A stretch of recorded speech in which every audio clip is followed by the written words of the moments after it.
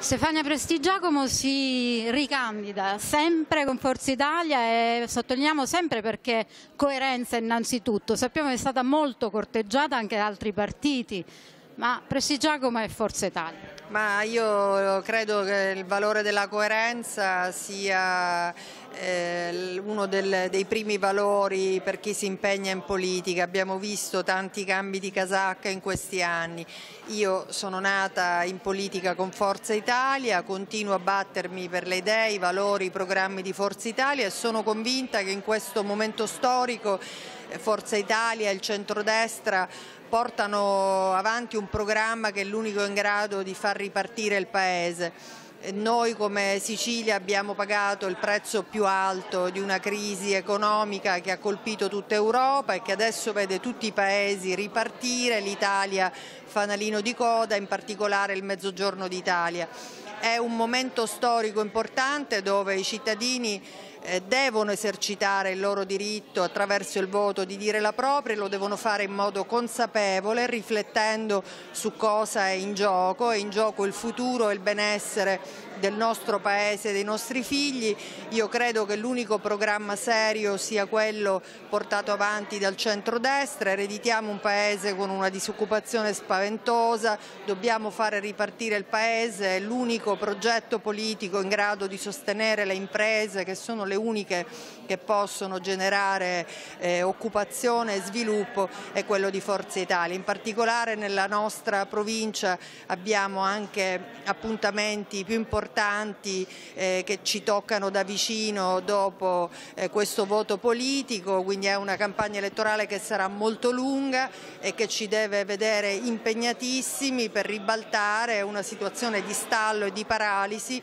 che vede la nostra provincia espropriata eh, dell'autorità portuale, della Camera di Commercio e priva di qualunque programmazione, eh, ci deve vedere impegnati perché noi abbiamo bisogno di ripartire di recuperare questi anni in cui siamo stati fermi, eh, governati da una classe dirigente a partire dal Comune, poi la Regione a livello nazionale che non ha saputo rappresentare in maniera adeguata i bisogni di questo territorio. Ecco, dando uno sguardo agli avversari, c'è da fare i conti con i 5 Stelle innanzitutto, eh, che li ritroviamo anche in provincia di Siracusa. In provincia di Siracusa c'è un fenomeno eh, che vede un Movimento 5 Stelle eh, avere risultati più alti del, delle, delle, altre province e del resto del paese, quindi bisogna impegnarsi ancora di più perché eh, questo movimento ha raccolto un disagio, un voto di protesta, ma con la protesta non si costruisce il futuro, il futuro si costruisce con i progetti seri, credibili.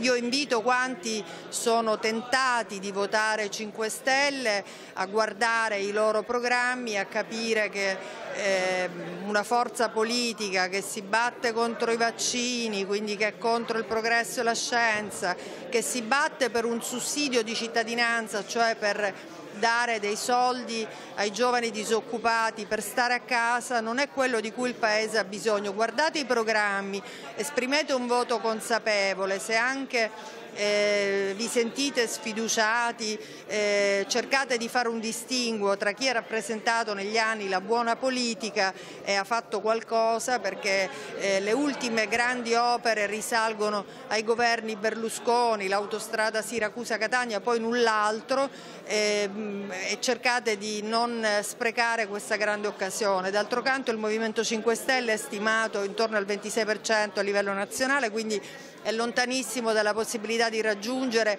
quel 40% che potrebbe dare loro la possibilità di governare, quindi è soltanto un voto sottratto al centrodestra che è vicino a quella quota 40%, noi vogliamo che il 5 di marzo ci siano le condizioni di dare un governo stabile al Paese perché il Paese deve ripartire. 5 Stelle Augusta, cosa dire agli elettori augustani?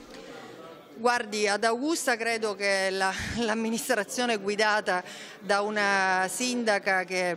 fino eh, a poco fa, adesso non si sa più, insomma è stata eletta nel Movimento 5 Stelle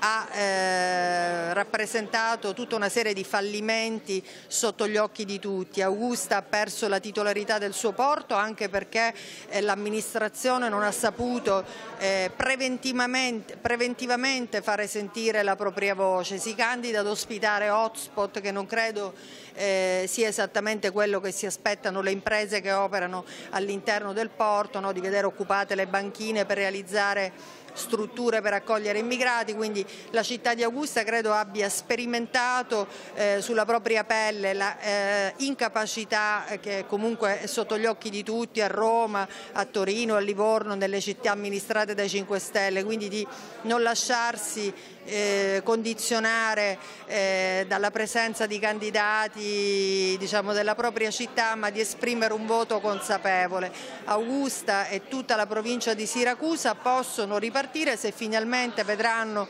alla Camera e al Senato una rappresentanza che sappia fare sentire la propria voce sui problemi del territorio e che in questi anni è drammaticamente mancata.